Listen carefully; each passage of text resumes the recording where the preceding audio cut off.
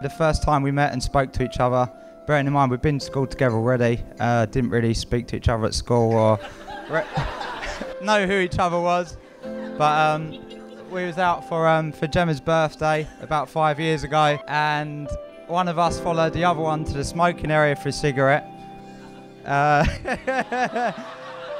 bit, bit, bit before I later pounced on her for a kiss um, and asked her out on a date. And and fr- from then on, we've been on many dates, and we used to always go out in London, get the train to London together, not make any plans, have spontaneous days out.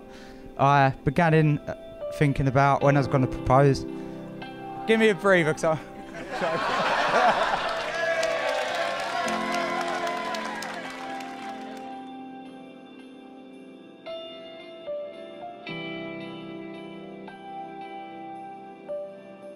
Later on, we planned a trip to Italy. We went to Venice. We booked to go to Venice, Florence, and Rome.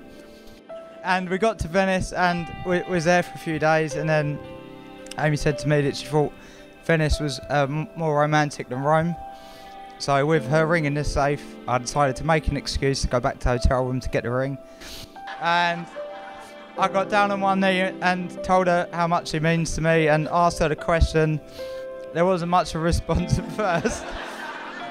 I, I was crying before I got a reply. And I, I ended up getting down on my knee three times because Amy wanted to take it in. I, Amy, take you, Greg, to be my husband. I, Greg, take you, Amy, to be my wife, I take you as you are loving who you are now and who you are yet to become. I will love you and have faith in your love for me through all our years. and all that life may bring.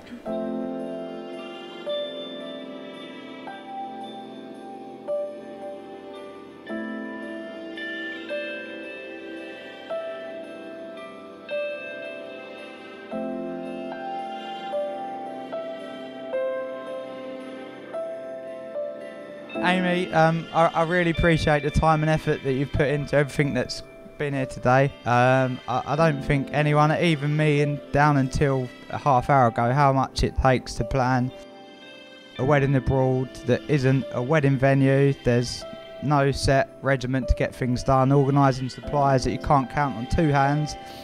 And the planning has been, been down to a T, and it really is appreciated. And I'd like to thank you for your patience, organisation, um, attention to detail, and making it what it is today for everyone uh, here. I'm sure everyone else will appreciate it as much as I do.